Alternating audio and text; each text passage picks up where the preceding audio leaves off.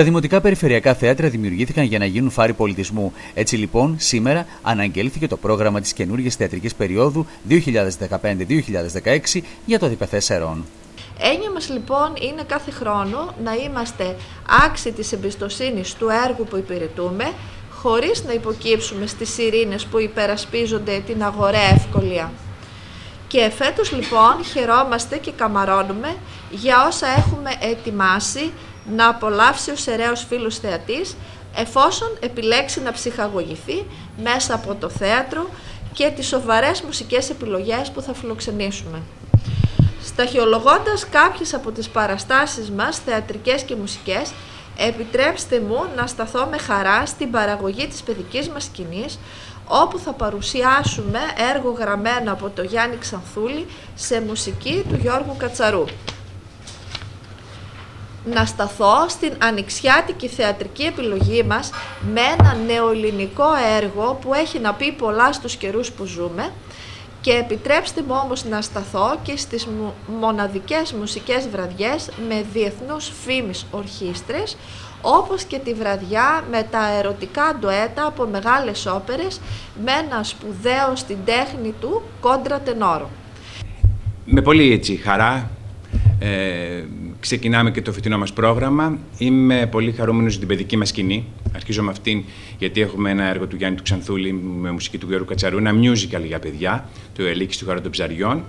Ε, νομίζω πως θα είναι από τις καλύτερες παραστάσεις που έχουμε, κάνει, που έχουμε ετοιμάσει και έχουμε παρουσιάσει εδώ στο Διπεθέ Σερών. Επειδή πέρυσι σκηνοθέτησα εγώ και επειδή έτυχε να δω λίγες πρόβες τώρα σε αυτό που ετοιμάζεται, ομολογώ πως το ζηλεύω. Γίνεται κάτι πάρα πολύ όμορφο. Να σταθώ στην άλλη μας παραγωγή του Διπεθέ Σερών που είναι η κυρία Μπέμπα. Αφορά μια κομμωδία λαϊκή που θα έλεγα ότι έχει καταβολές στη Βέρεκ του Τάβλου του Κεχαίδη, αλλά είναι γραμμένη από τον Τίνο Σπυρόπουλο, έναν ε, ε, από τους καλύτερους ε, επιθεωρησιογράφους. Εδώ είναι το δεύτερο ή τρίτο έργο του που έχει γράψει σε πρόζα.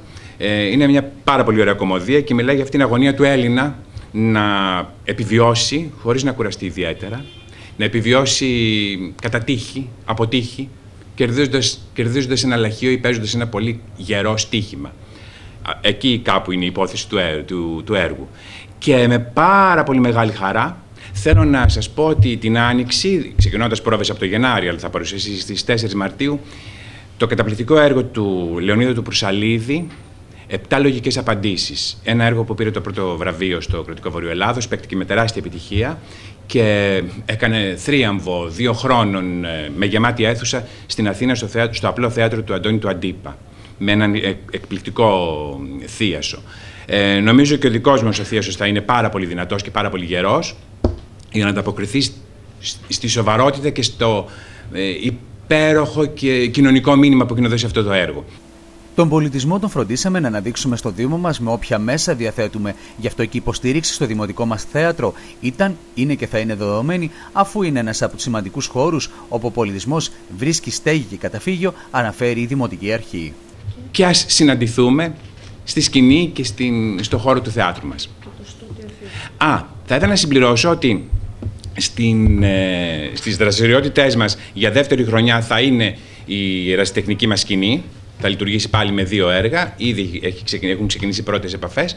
Και από, τα, από το Δεκέμβρη, Γενάρη μέχρι και την Άνοιξη θα, λειτουργεί, θα κάνουμε μια καινούργια έτσι, πρόταση.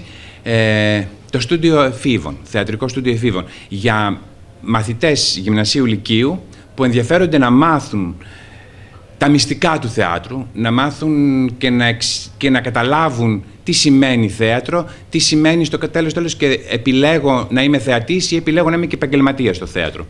Νομίζουμε πως η ομάδα των ε, ε, συντονιστών αυτού του προγράμματος, να μην πω διδασκόντων, αυτών που θα ε, δώσουν στα παιδιά τα φώτα είναι εξαιρετικά σημαντική. Για όλα αυτά βέβαια θα σας μιλήσουμε αργότερα, σε άλλη ευκαιρία. Και νομίζω πως το θέατρό μας ξεκινάει ένα χειμώνα γε, γερά χτισμένο. Και, βέβαια, εμείς είμαστε ο ένας πόλος, περιμένουμε τον άλλο πόλο από την, ε, από την προσέλευση του κοινού. Η Πανεπιστημία δεν είναι βέβαια, μου ψιθυρίζει εδώ η κυρία Πιτζίδη, η Πανεπιστημία. Η Πανεπιστημία δεν είναι ένα γεγονός ε, 11 χρόνων που φέτος θα γίνει 12 ετών. Θα είναι θα τελειώσει και το δημοτικό και θα ενηλικιωθεί από του χρόνου, ελπίζουμε.